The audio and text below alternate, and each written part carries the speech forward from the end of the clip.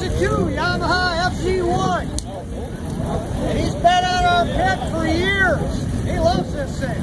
a lot of money to play. So, you guys, give him a good round of applause.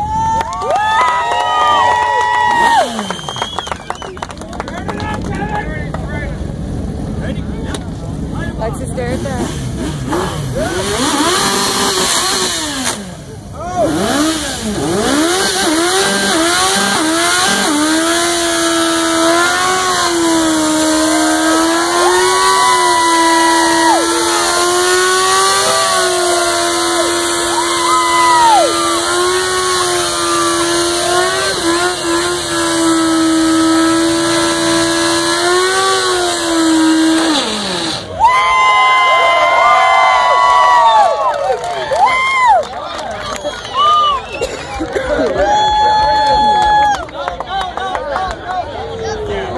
He's gonna be so good.